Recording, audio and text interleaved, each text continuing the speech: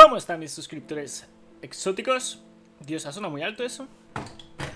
Tío, yo no sé cómo hago para liarla tanto. O sea, casi tiro el cuadro y ya cae encima la lámpara.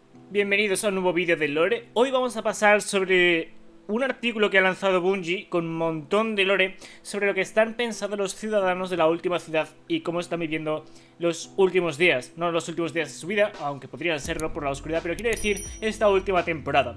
Lo que están pensando y las tres opciones que van a tomar, por así decirlo. Algunos van a dejar la ciudad buscando unas llamadas capitales libres, de donde se supone que vino mucha de la gente, que ahora está en la última ciudad. También otros creen que los guardianes no pueden hacer nada de nada, ya lo ven todo como acabado, y otros siguen creyendo que los guardianes podemos hacer algo con nuestra vida, en fin. Es un lore muy interesante. Tiene muchos detalles, es decir, no es como otros vídeos de lore que os hago reuniendo montones de datos y eso, o sea, tiene muchos detalles que son en plan como el día a día de la ciudad, es como un cuento, ¿vale? O sea, quiero decir, igual no es tan concentrado como otros vídeos de Lore, pero creo que está bien pasar por esos artículos de vez en cuando, no solo porque es el adelanto que nos está dando Bungie sobre lo que está pasando y todo eso, sino también porque te da otra perspectiva sobre el mundo de Destiny, ¿vale? Así que creo que os va a gustar, ¿vale? Lo he intentado narrar lo mejor posible, creo que os va a molar, dicho eso, bendiciones. Recordad que hay una lista de Lore con más de 100 episodios, por si os mola este y queréis más, y... Vamos a ello. Habitantes de la ciudad, parte 1. Generaciones. Suena la música. Bajo un cielo veteado por el brillo de los vestigios del Omnipotente, los habitantes de la última ciudad están de celebración. Los restos arden a través de las nubes y explotan como si fueran fuegos artificiales. Los que recuerdan la Guerra Roja observan el cielo con una esperanza contenida.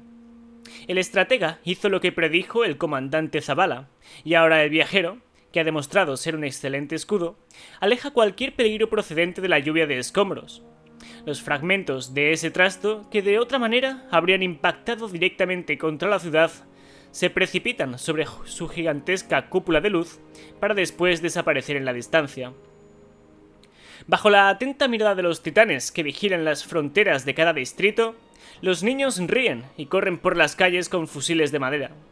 Su imaginación transforma las aceras de piedra en túneles del búnker estratega, Ahora, las casas y los callejones llevan hasta terminales de acceso mientras se ponen a cubierto, y usan los conductos de ventilación para realizar maniobras laterales con rapidez.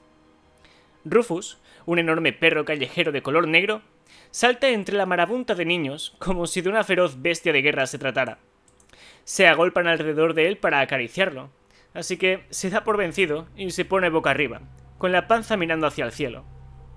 Los niños más mayores rugen ante la caída de su poderosa bestia de guerra, mientras cargan con armaduras cabal de color rojo hechas de papel maché.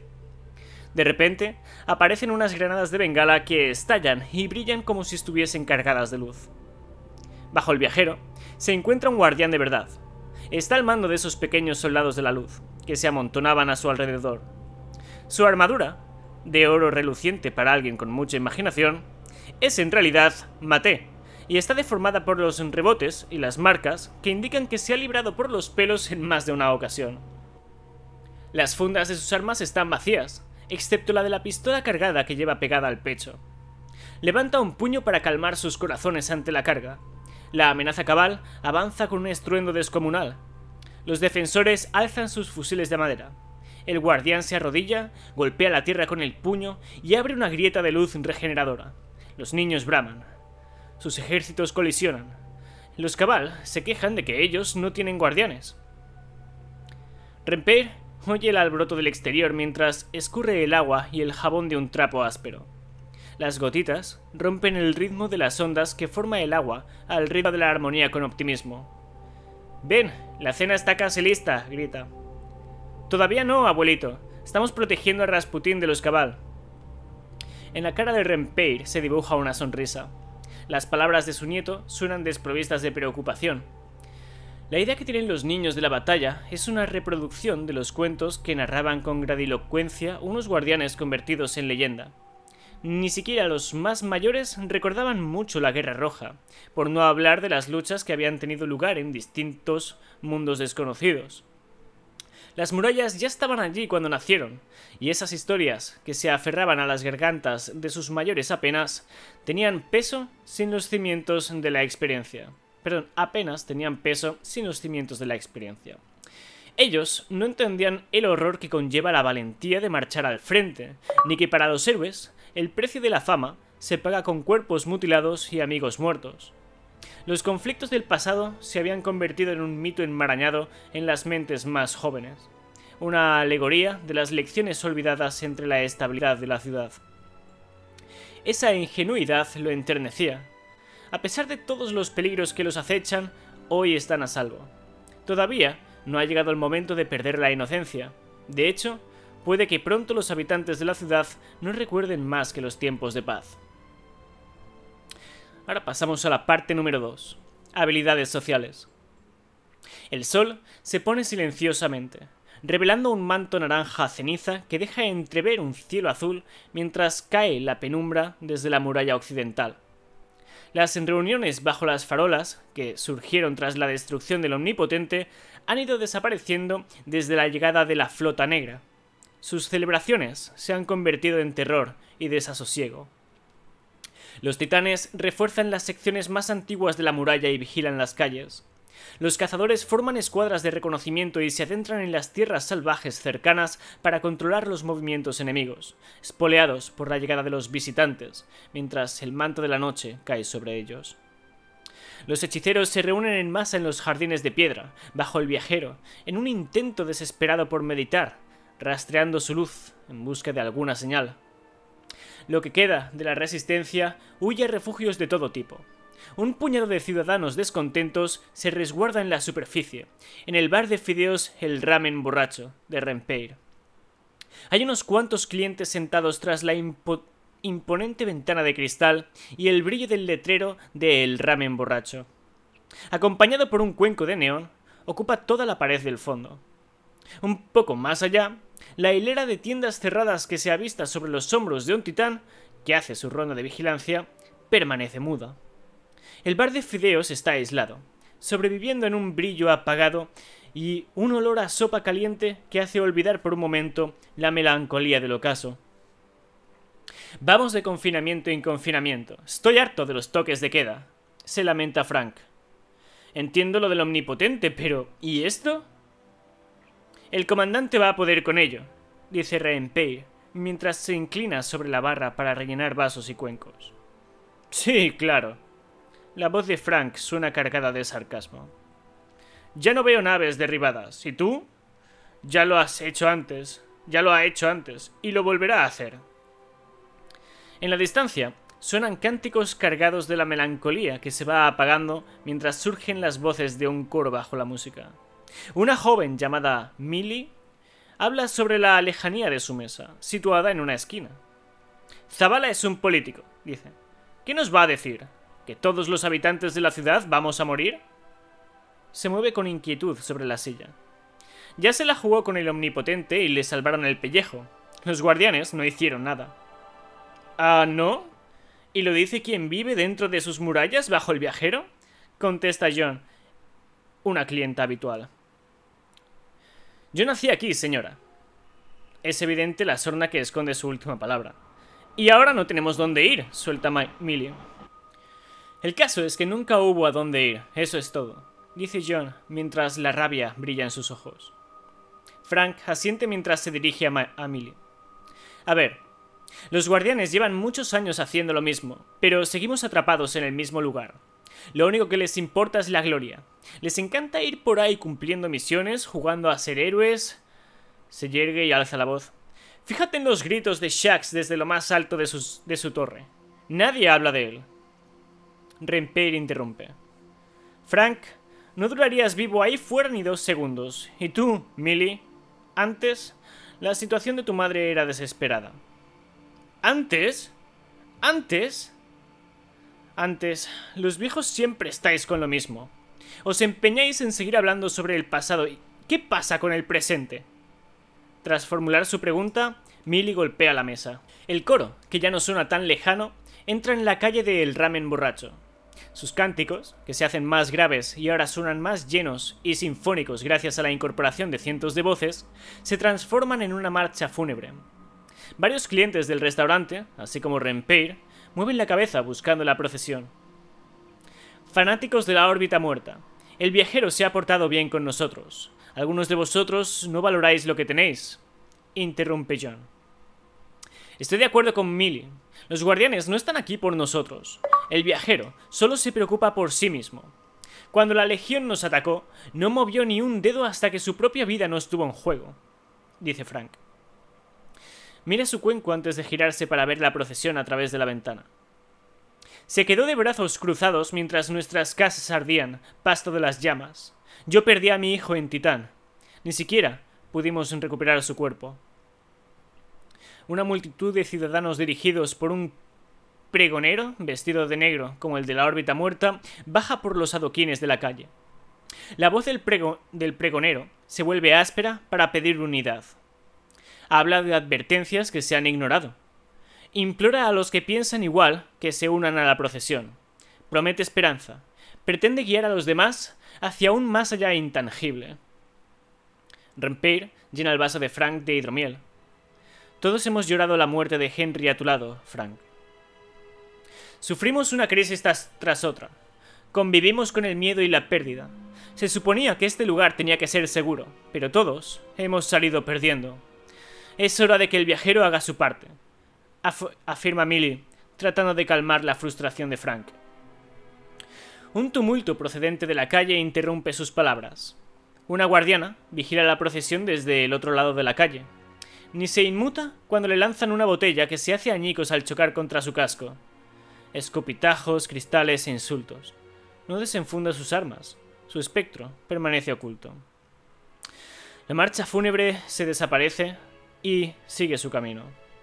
Rempeir interviene para acabar con la tensión del ambiente.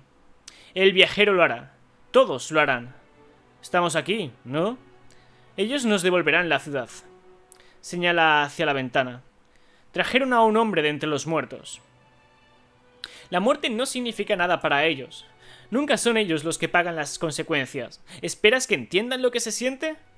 Frank suspira y su voz tiembla. No tienes ni idea. Cuando yo era una niña, San 14 era como un gigante. Si podía hacer algo, hacía lo que fuera necesario para ayudar. No sabes cómo era entonces. Los guardianes van a conseguirlo. Remata a Jean y cruza los brazos. Eso ya lo veremos, masculla Milly con la boca medio llena de fideos. Entre el silencio, la noche relaja el ambiente en el bar de ramen. El calor alivia la sensación de malestar y el sonido del violín estridente se va apagando. Menos mal que ya ha pasado. Reimpir golpea dos veces la barra con el puño. Observa los semblantes serios de sus clientes. ¿Un poco de saque? Parte 3 refugio. Cuando se acerca la medianoche, las naves de la órbita muerta deshacen las nubes que hay alrededor del viajero. Él aguarda su anillo junto a la puerta, por si tiene que huir. Solo lleva un cargador lleno, pero las balas de latón llenan los huecos de la bolsa de emergencia que tiene bajo el pecho. Si atacan, vendrán hacia aquí. Eso es lo que siempre decía ella, a este preciso lugar. Pero Lisa nació aquí, y no habían viajado tanto como él. Él no sabe si pueden irse antes de que eso ocurra. La gravedad ya los había traído de vuelta dos veces, dos excursiones que habían fracasado, aunque habían sido unos ejercicios aislados. Seguramente el mundo los volvería a traer de vuelta, como siempre había hecho. A la tercera va la vencida. Yo estaré a tu lado, y habrá una de las capitanes, perdón, una de las capitales libres esperándonos, sin luz y lejos de todo esto. Era su último intento de escapar. Las capitales libres no son más que rumores, ciudades enterradas de antes de la Edad de Oro. Él había oído las historias que contaban los clientes del bar de ramen de su hermano entre hidromiel y sake. Nadie ha estado allí, todo el mundo conoce a alguien que conoce a alguien que tiene alguna historia relacionada con la ubicación de esas ciudades, pero tendría que haber más gente.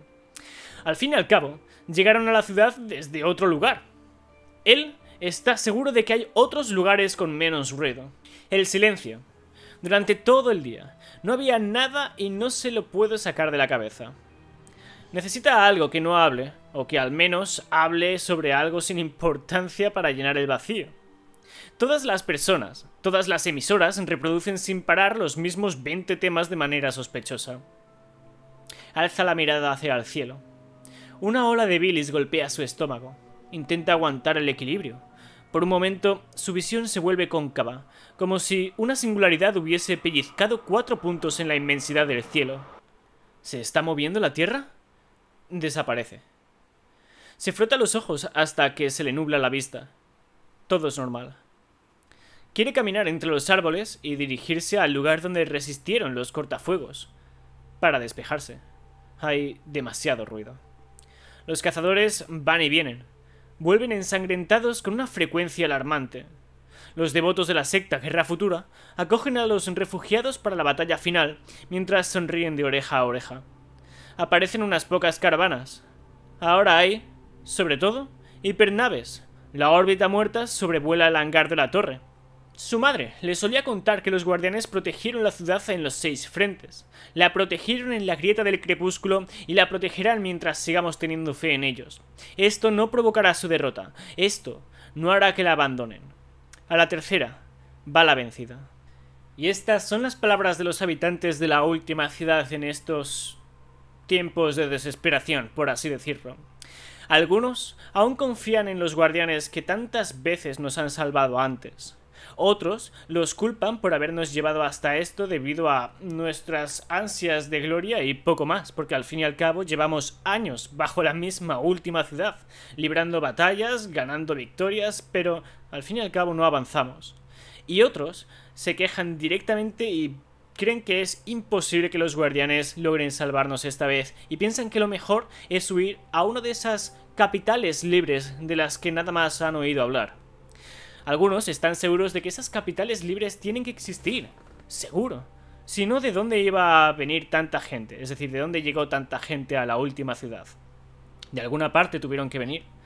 Así que parece que hay bastantes que tienen la idea de marcharse a buscar esas capitales libres y abandonar la torre y sus políticas, porque tanto por, la, tanto por la vanguardia, que está muy desordenada, como por los recientes ocurridos, ¿vale? De las naves pirámide y demás, ya parece que no se puede confiar tanto en ello y algunos están perdiendo la esperanza, con lo que van a tomar las cartas por... O sea, van a hacer lo que les parezca, básicamente. Entonces, están esas tres opciones. Y me parece muy interesante que mencionen lo de las capitales libres. Y también todo este tema de la última ciudad, quiero decir, queda claro que la vanguardia está dividida.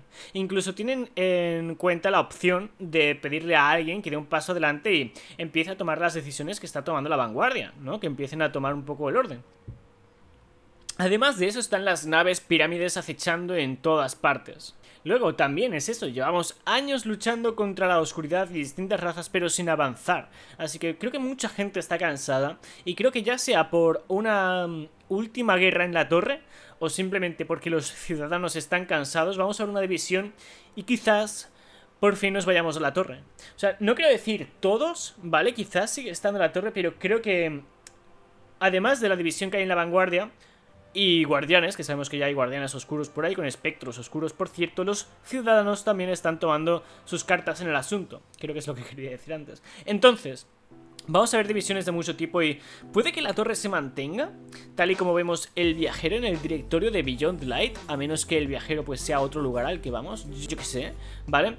Pero también tengo la sensación de que veremos algún otro tipo de zona social en adelante. Quiero decir, por ejemplo, para aquellos guardianes oscuros que utilicen las subclases de la oscuridad y, digamos, estén más ligados a la oscuridad, ¿No creéis que tendrían que tener otro lugar que no sea debajo del viajero, sabes? plan, bueno, es una idea, ¿vale? Uh, decidme vosotros qué pensáis sobre todo esto. Creo que está guay pasar por estas cartas. También hacia Leta, en lugar de, de simplemente hacer un resumen, que es lo que acabo de hacer ahora al final explicar un poco todo esto tal y como nos lo narran para meternos un poco más en la historia, porque sé que muchos de vosotros no vais a meteros ahí, menos vais a leeroslo. Así que creo que es una buena manera de pasar por este tipo de lore de vez en cuando. O sea, no es como otros vídeos que son reuniendo montones de distintos datos, creando una teoría o algo así, pero espero que os haya gustado y que lo hayáis disfrutado, ¿vale? Decidme qué opináis abajo en los comentarios y... ¿Qué vais a hacer vosotros? Mm? Si fueseis un ciudadano ¿Confiaríais en los guardianes y os quedaríais esperando que a la tercera vaya vencida y ganemos la guerra por fin? ¿Creéis que no van a hacer el huevo y que es hora de pirarse?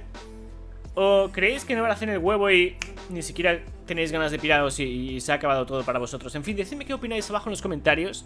Este ha sido The Wild Gamer para vosotros en retransmitir. Bendiciones. Decidle a vuestra madre que la queréis.